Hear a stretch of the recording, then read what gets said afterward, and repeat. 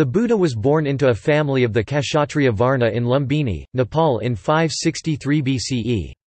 He was called Siddhartha Gautama in his childhood. His father was King Suddhodana, leader of the Shakya clan in what was the growing state of Kosala, and his mother was Queen Maya Devi.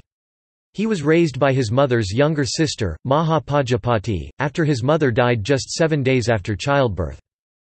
He later married Yasodhara Yasodhara was the daughter of King Suppabuddha and Amita, and together they had one child, a son, Rahula.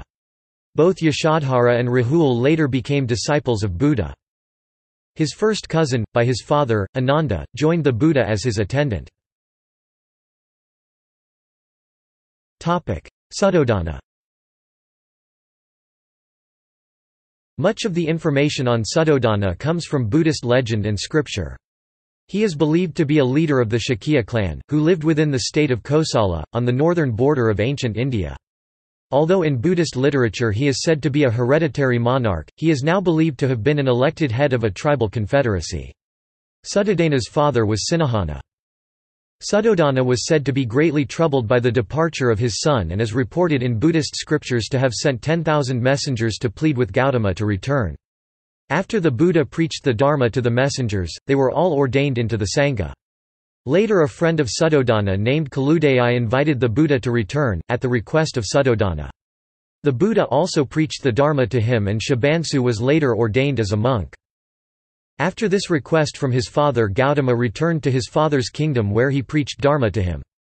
Gautama later returned again to his father's kingdom to see his father's death. Suddhodana became an arahant.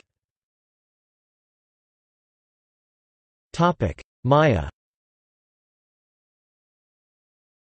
Maya was the mother of the Buddha and was from the Kolian clan. Maya was born in Devadaha, in ancient Nepal. She was married to her cousin King Suddhodana, who ruled in the kingdom of Kapilavastu. In Buddhist texts, a white elephant was said to have entered her side during a dream.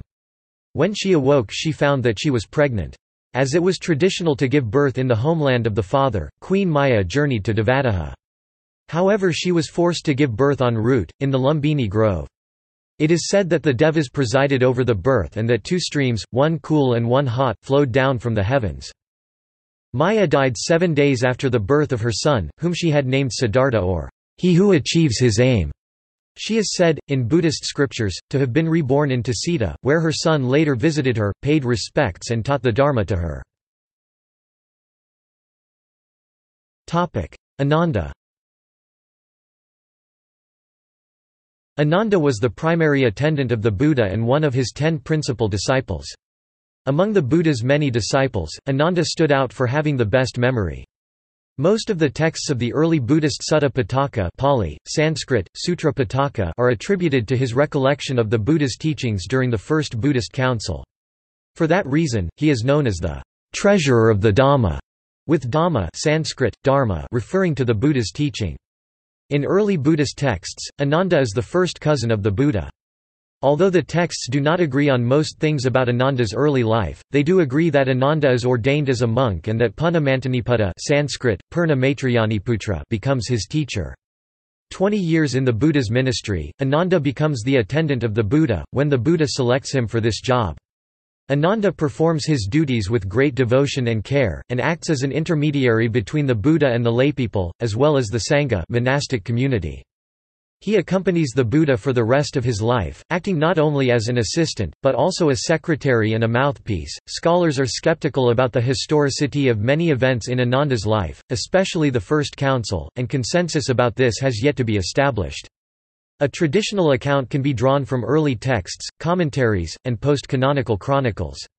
Ananda has an important role in establishing the order of bhikkhunis, when he requests the Buddha on behalf of the latter's foster mother Mahapajapati Gautami Sanskrit, Mahaprajapati Gautami to allow her to be ordained. Ananda also accompanies the Buddha in the last year of his life, and therefore is witness to many tenets and principles that the Buddha conveys and establishes before his death, including the well-known principle that the Buddhist community should take his teaching and discipline as their refuge, and that the Buddha will not appoint a new leader. The final period of the Buddha's life also shows that Ananda is still very much attached to the Buddha's person, and he witnesses the Buddha's passing with great sorrow. Shortly after the Buddha's death, the first council is convened, and Ananda manages to attain enlightenment just before the council starts, which is a requirement.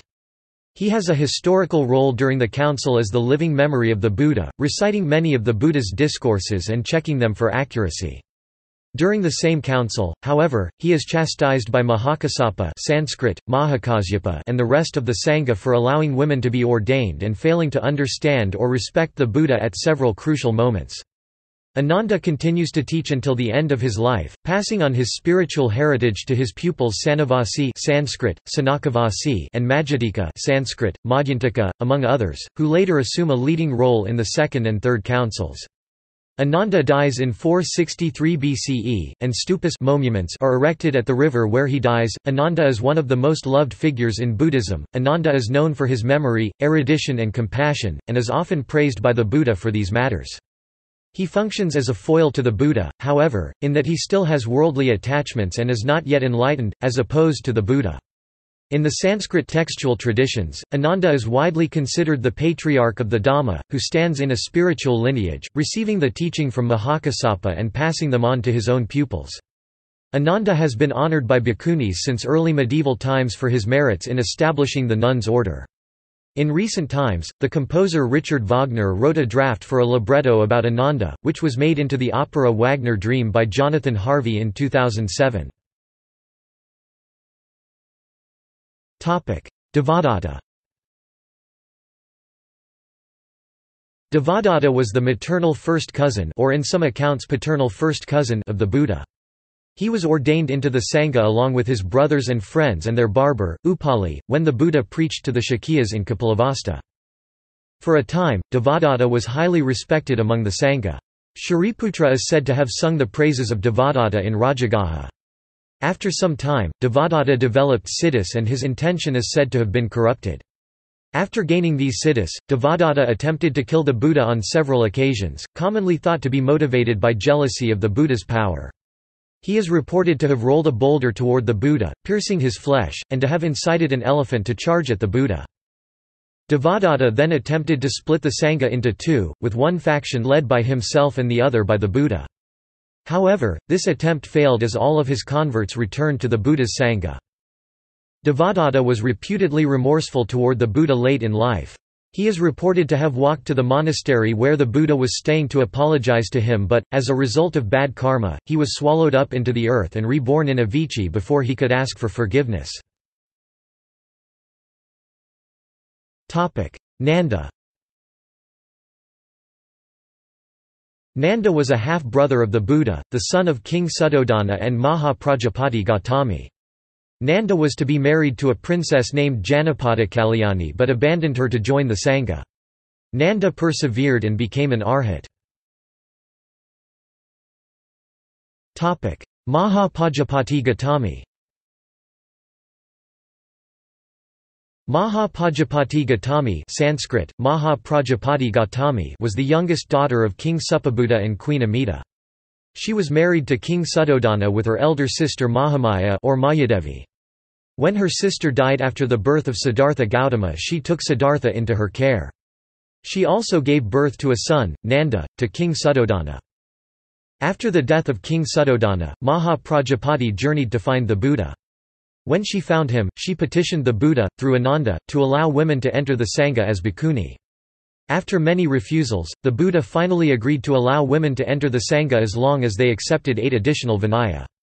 These were A bhikkhuni must always pay respect to bhikkhus A bhikkhuni must spend the Varsa retreat in a retreat where bhikkhus are staying Bhikkhunis must ask bhikkhus to give them official teachings twice a month Bhikkhunis must perform the end of Varsa ceremony in front of bhikkhunis and bhikkhus.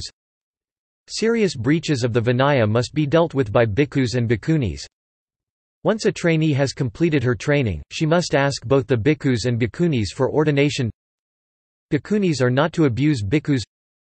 Bhikkhus may criticize bhikkhunis regarding disciplinary matters, but bhikkhunis may not criticize bhikkhus. Mahapajapati is said to have given the Buddha a robe made of fine cloth. The Buddha refused it, saying it was too elaborate and would cause the Sangha to degenerate. Later Maha Pajapati became an arahant. Rahula Rahula Pali and Sanskrit was the only son of Siddhartha Gautama, and his wife and princess Yasodhara. He is mentioned in numerous Buddhist texts, from the early period onward. Accounts about Rahula indicate a mutual impact between Prince Siddhartha's life and those of his family members. According to the Pali tradition, Rahula is born on the day of Prince Siddhartha's renunciation, and is therefore named Rahula, meaning a fetter on the path to enlightenment. According to the Mulasarvastivada tradition, and numerous other later sources, however, Rahula is only conceived on the day of Prince Siddhartha, and is born six years later, when Prince Siddhartha becomes enlightened as the Buddha. This long gestation period is explained by bad karma from previous lives of both Yasodhara and of Rahula himself, although more naturalistic reasons are also given. As a result of the late birth, Yasodhara needs to prove that Rahula is really Prince Siddhartha's son, which she eventually does successfully by an act of truth. Historian Wolfgang Schumann has argued that Prince Siddhartha conceived Rahula and waited for his birth, to be able to leave the palace with the king and queen's permission, but Orientalist Noel Peri considered it more likely that Rahula was born after Prince Siddhartha left his palace. Between 7 to 15 years after Rahula is born, the Buddha returns to Kapilavastu, where Yasodhara has Rahula ask the Buddha for the throne of the Sakya clan. The Buddha responds by having Rahula ordained as the first Buddhist novice monk. He teaches the young novice about truth, self-reflection, and not self, eventually leading to Rahula's enlightenment. Although early accounts state that Rahula dies before the Buddha does, later tradition has it that Rahula is one of the disciples that outlives the Buddha, guarding the Buddha's dispensation until the rising of the next Buddha. Rahula is known in Buddhist texts for his eagerness for learning, and was honored by novice monks and nuns throughout Buddhist history.